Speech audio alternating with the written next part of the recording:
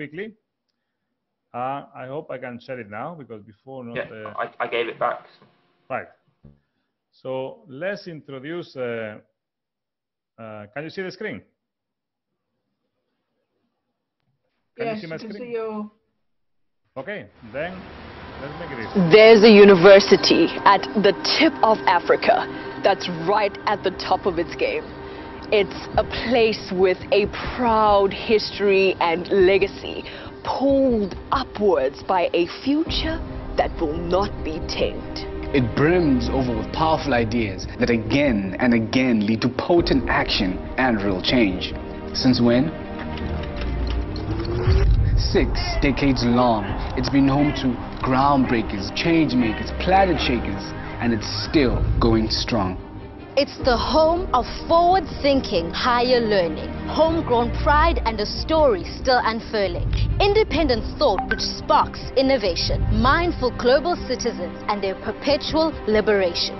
Today, this is my home, my community, my springboard, my zone, like iron sharpening iron. Here, my potential is mined, my mind is refined, and my future redefined. It's our time to learn from our past and our histories, to be the leaders of tomorrow's victories. It's our time to stand up and step into our light. To rise with Africa and all the world by our side.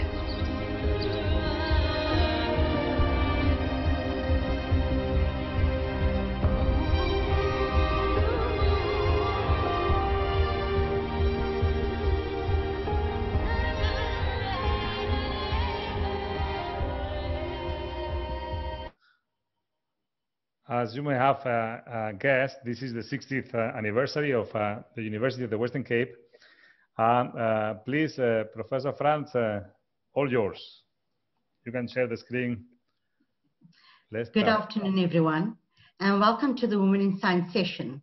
The University of the Western Cape is one of South Africa's leading academic institutions when it comes to science, and this is largely due to the most impressive women that are involved. Today we have three dynamic leaders that will be speaking to us, Professor Jose Frantz, Professor Priscilla Baker, and Ms. Nkandlezi Sikakane. Just a little bit about Professor Frantz. Professor Frantz is an academic leader and currently the Deputy Vice Chancellor of Research and Innovation at the University of the Western Cape, where she is responsible for the strategic vision of research and innovation.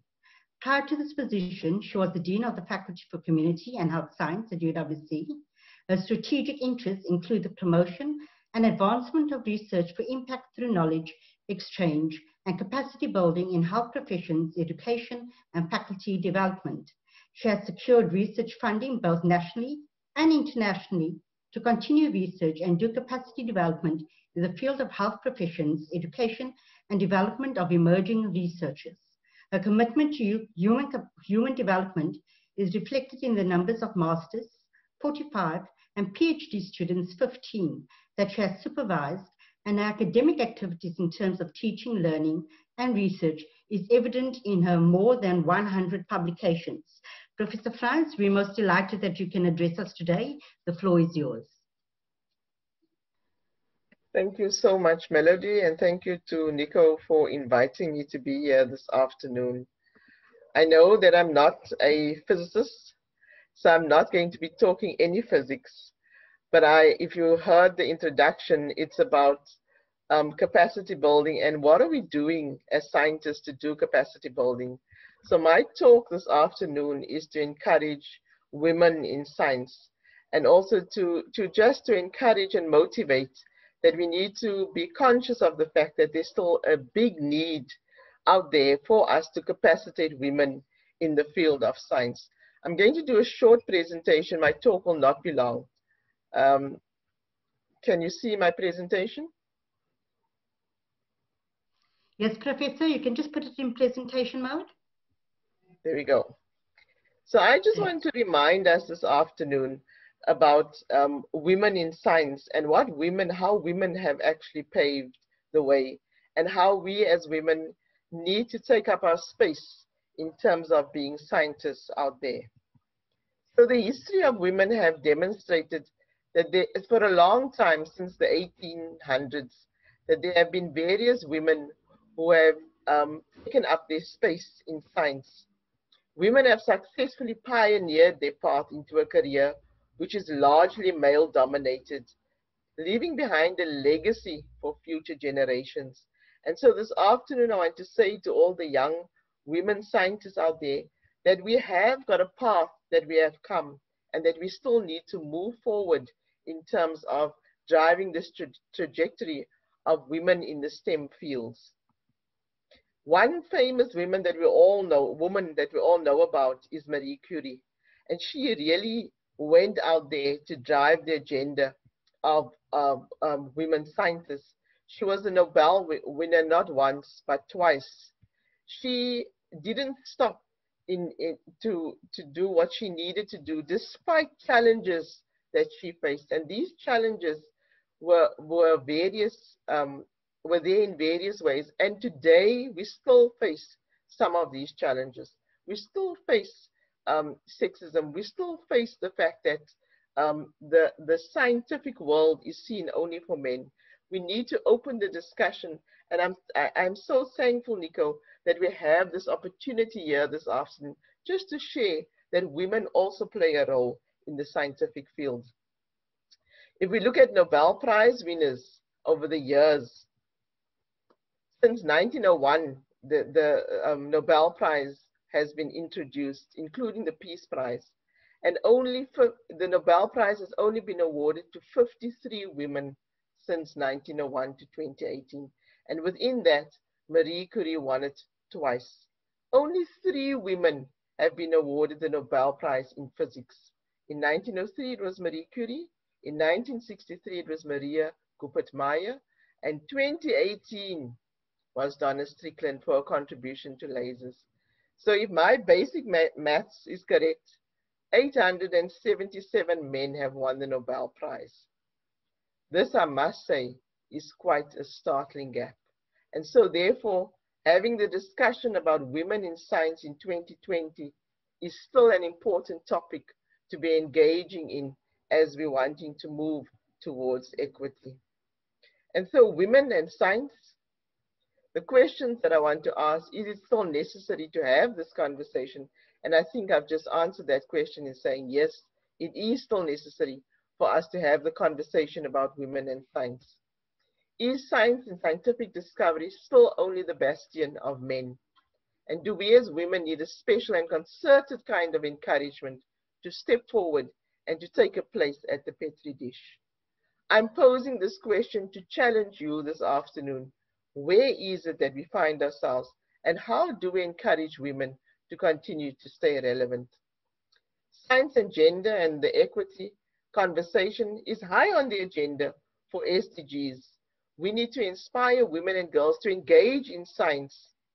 However, we find that there are certain challenges that excludes women from participating in science. And we need to acknowledge that. And we need to be able to to, to embrace it and to find ways to make the gap in science less for women. And so look at what are the factors that deter women from taking up careers in, in the STEM fields. What are some of these challenges? And so I, I just allude to some, some of it is that if you look at the research groups that we find um, women participating in, Men are the scientists, they are the leadership positions, and women play the more supporting roles.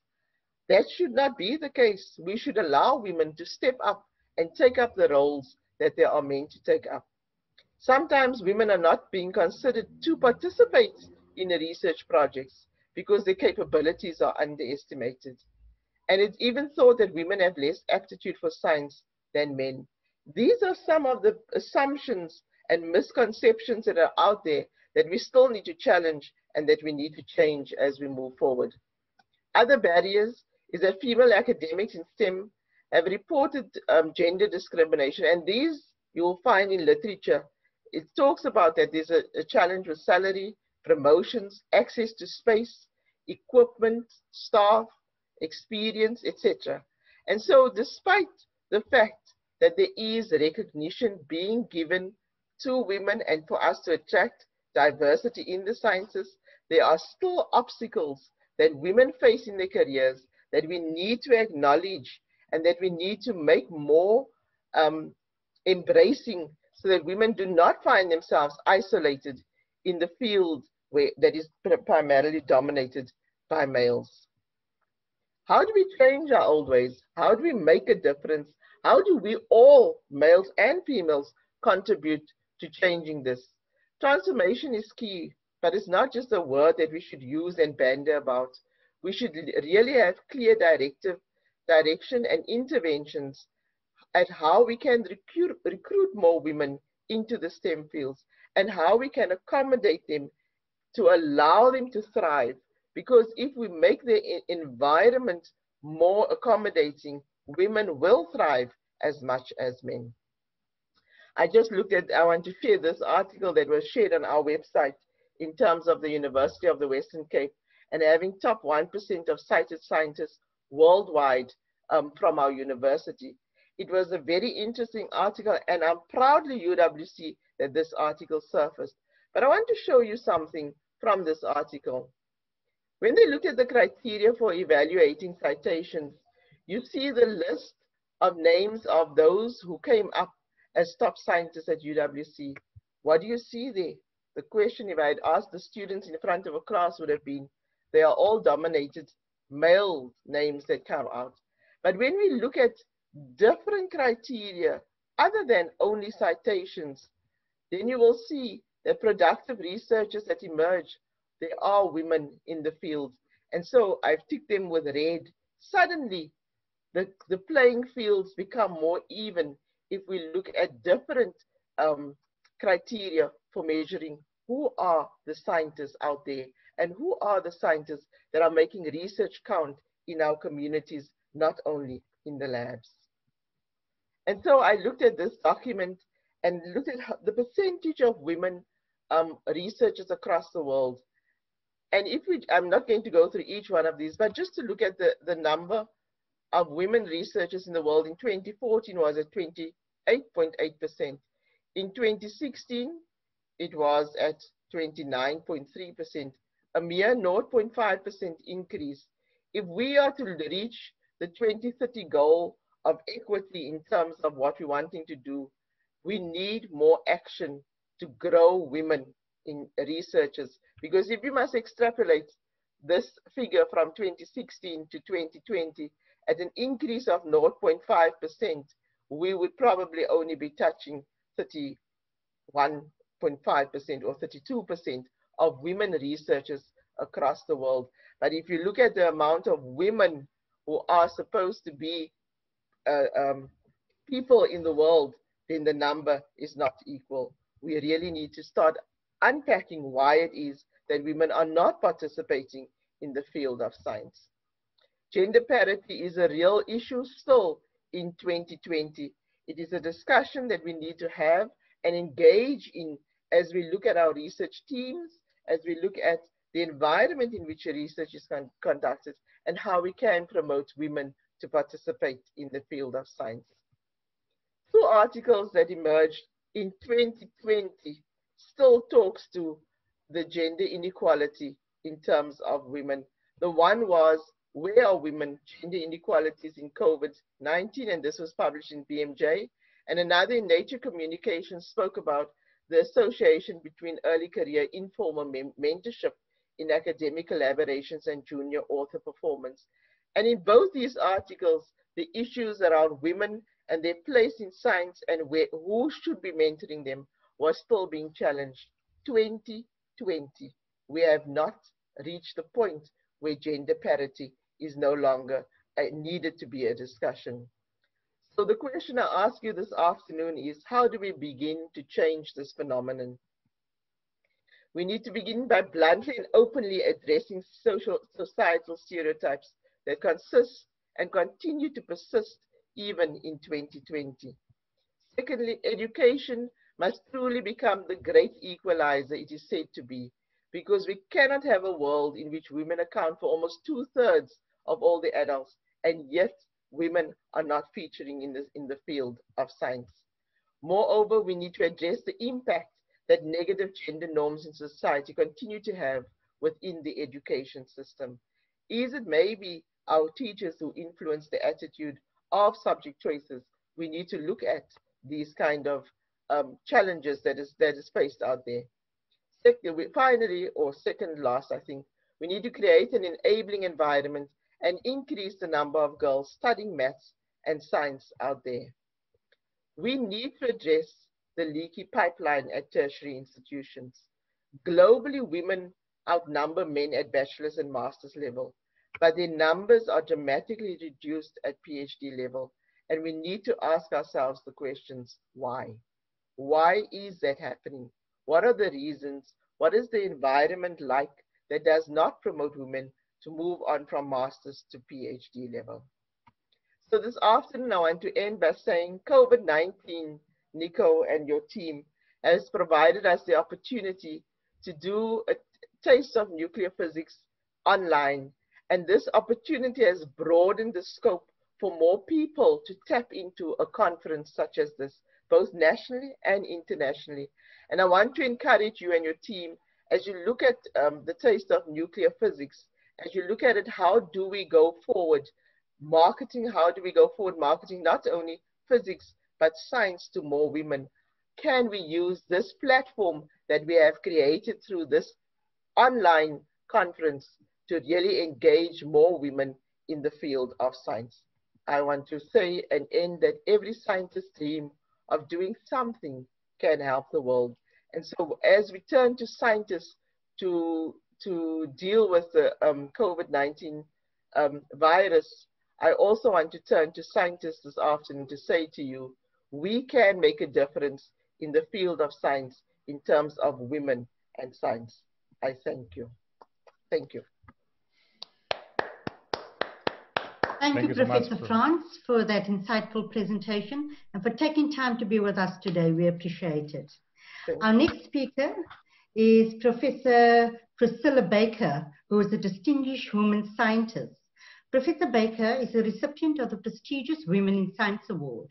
She is also the SARChI Chair in Analytical Systems and Processes for Priority and Emerging Contaminants, co-head of UWC Sensor Lab and specializes in the application of frequency modulated electrochemical techniques that can be applied in water analysis and treatment, bio and industrial cat catalysis, as well as energy related applications. She is also the director for the South African Systems Analysis Center from November 2017 until present and is currently senior professor at UWC. Her research emphasis are on analytical chemistry, electrochemistry, nanomaterials, as well as sensors for priority and emerging pollutants. She's published 65 research articles in international and national journals, written eight book chapters, collaborated with researchers in US, Germany, and France, participated in international teaching and training programs at universities in France, Portugal, and the UK, and is an active member of two research consortia funded by the seventh framework program of the European Union. I'll give you Professor Priscilla Baker.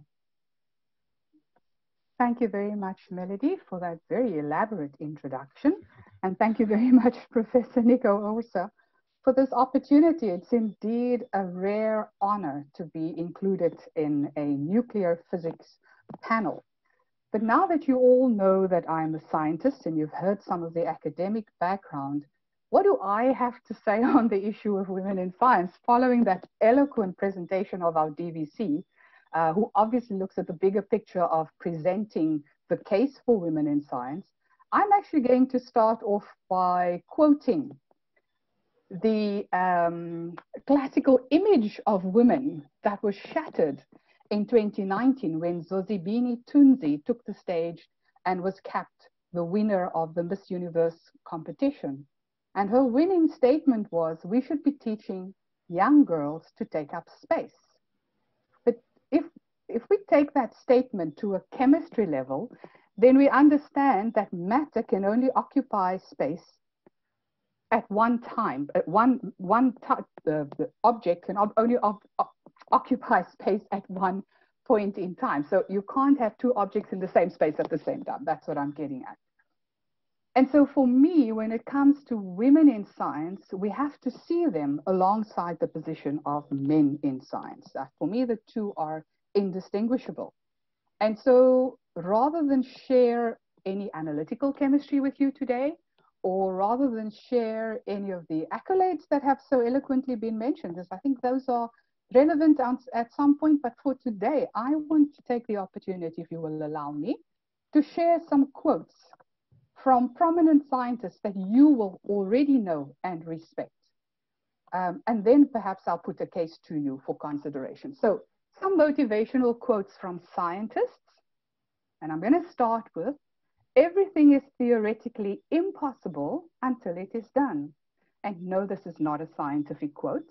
But apparently, Google tells me it's a quote often quoted by PhD students.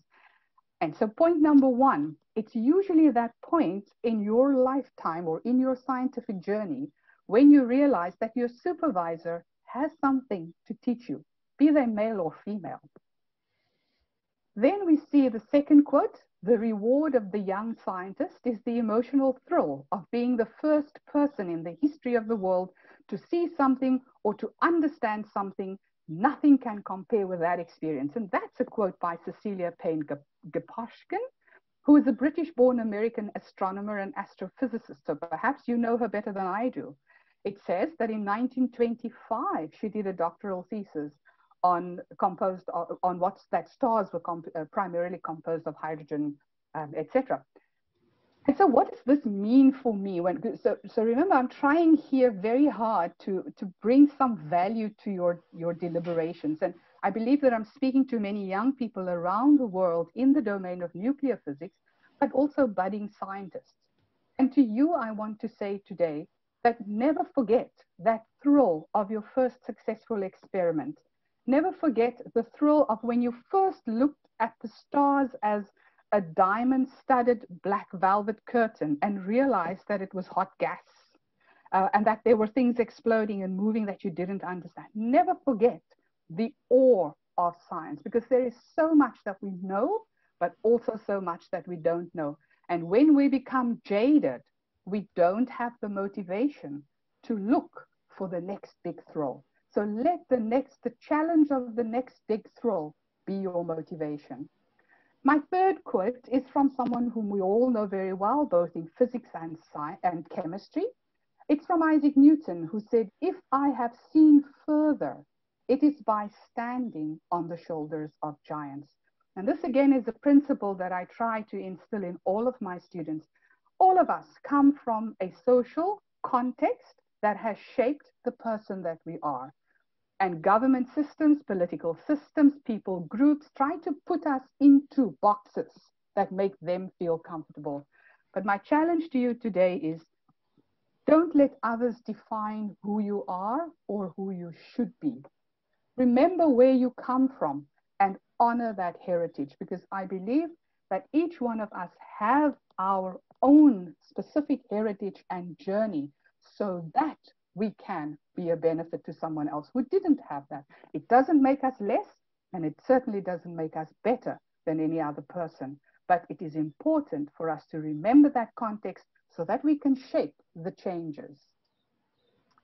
Isaac Newton, of course, I just put that at the bottom there, also a mathematician, physicist, and astronomer. So I'm going here for the link with astronomy, forgive me, and physics and, and the likes, because I'm not a physicist, right?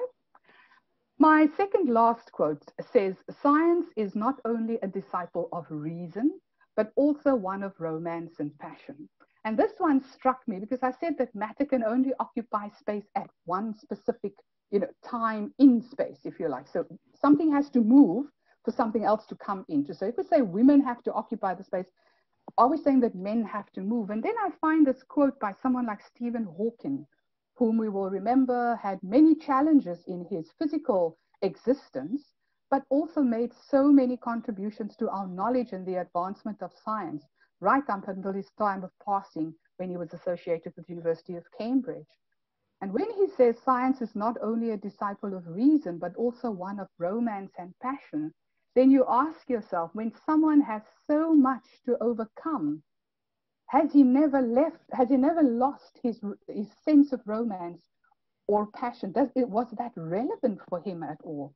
And obviously the answer is yes, because that is one of the quotes that he is remembered for.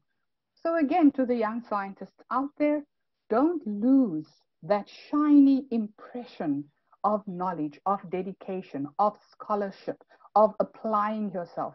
Because the ones who are not walking that path with you, they don't see that romance. They don't see the commitment and the dedication. And as he quoted, it's the science is not just the disciple of reason. So it's not just the book knowledge and the number crunching, but also the you and the humanness in you that helps to shape your thinking and that uh, encourages the discovery and the thrill of science. And then, of course, I'm going to close with the, uh, the last quote for this little uh, presentation. Nothing in life, okay, now my screen, sorry, I have to move my screen. Nothing in life is to be feared.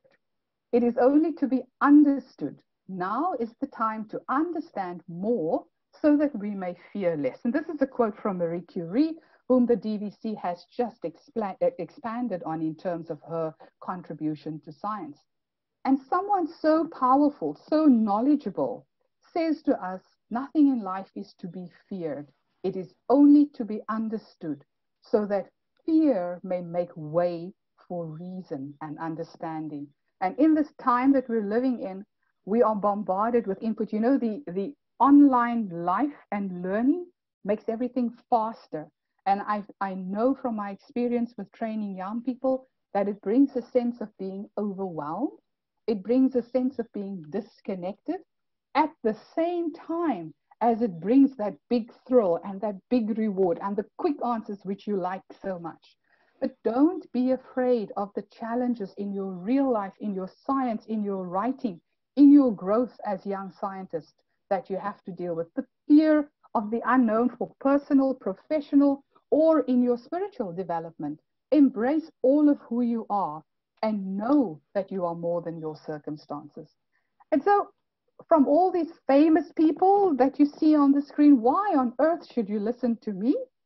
In my short lifetime, I'm just a girl from the neighborhood. I've also been um, labeled and tried to be put into boxes. But I had the privilege of growing up with five brothers and a father, so an all male environment. It never made me feel less of a woman or less of a capable individual than what I thought I needed to be. I then studied and worked in the domain of chemistry, natural sciences, a hardcore male environment.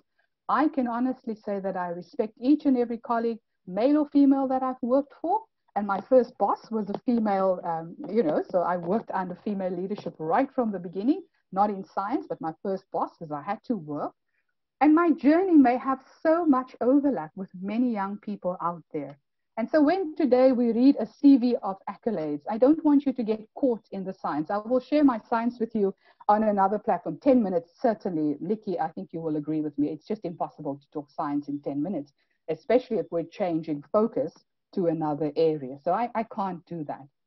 But if you Google me and if you give, Google some of my papers, of course, then you will uh, learn a little bit about them. But if you look at the accolades, they mean absolutely nothing if we've lost the thrill of science, because then our lives become humdrum. We just want to uh, hand in the next report by deadline because we have to. But when we apply our minds with that, that passion to seek for knowledge, understanding where we come from, that we are complete beings, that science is not all who we are, we begin to remember our value as women. We begin to represent ourselves as fully capable competitors. And it would not matter whether men try to put you in a box. It would not matter whether women try to put you in a box. Let's be honest, dear girls, and call it as it is. Let's be true to ourselves. Let's tap into what we know our gifts and our strengths are, whether we be male or female. And let us build a world that will grow new knowledge for the benefit of everyone so that we eradicate fear and we replace it with knowledge. We replace it with empowerment. We replace it with a stage where all players can be equal. Now, I'm not contesting the fact that there are major inequalities around the world, and it saddens us. But I'm saying to you today, as young scientists out there, be responsible in your advancement and give credit where credit is due. Do not be afraid of greatness. Some of us are born to greatness, some of us achieve greatness, and some of us have greatness thrust upon us because of the time and space that we occupy. Embrace it with passion, with romance. Seek the thrill of science and shine like the stars that you are. Thank you, Nico. Thank you, Melody. Thank you to everyone at the 10th Taste of Nuclear Physics for including me in this little conversation.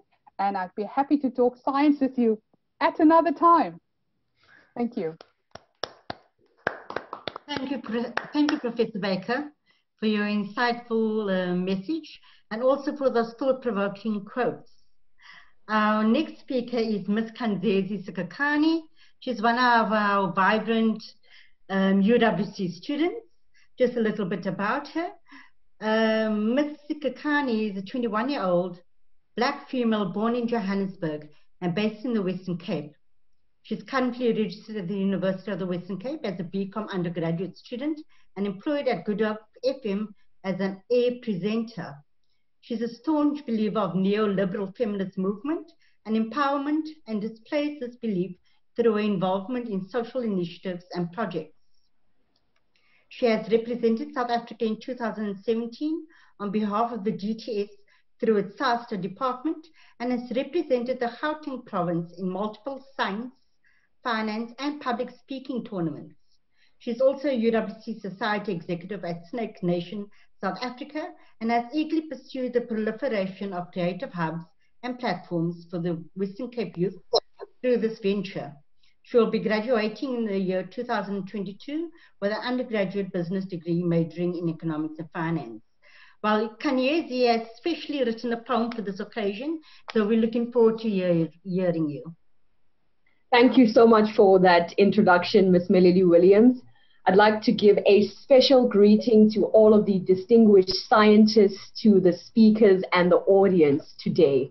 It is a special honor and privilege to be invited into spaces with people who are doing big things and who are informing our daily lives. The poem that I have decided to write today is one that gives an account of the difficulties of the student journey. Most of us have been students, especially undergrad students, and we know how this journey is typically characterized by love and infatuation. So, this poem today will be detailing the account of a young man's journey of love expressed through science. I hope you enjoy it. I don't know much about science. So when you teach me about the equations of the universe, about the tight lines of code which compile the twisting helices, it seems to me like just numbers and stuff.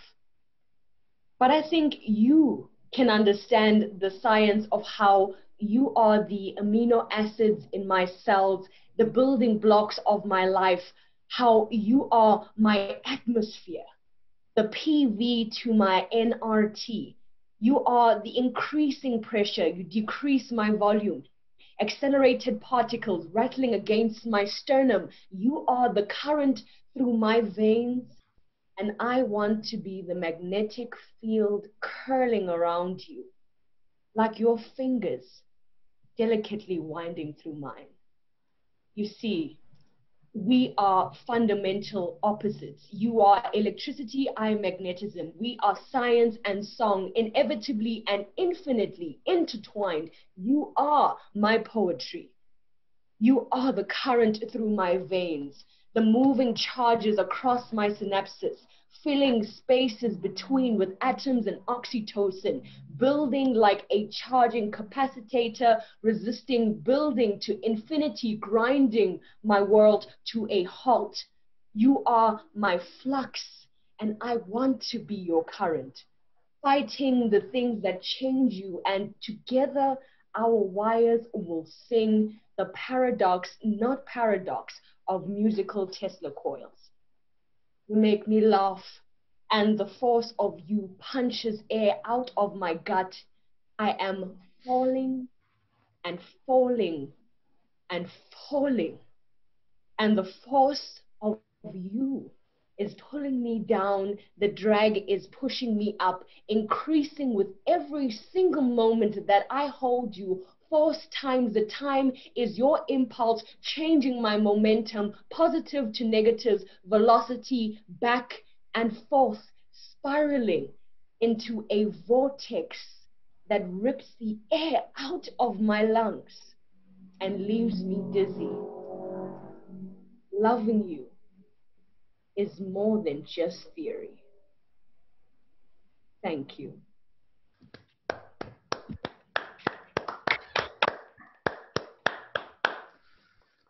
Wow. Nkanyezi, that was absolutely beautiful. You really did that well for us. Thank you. Thank you. Um, Thank to all of our speakers today, Professor Frantz, Professor Baker, and Mr. Kakani, we thank you for being with us today in our Women in Science session, and we wish you well with your further endeavors. Thank you.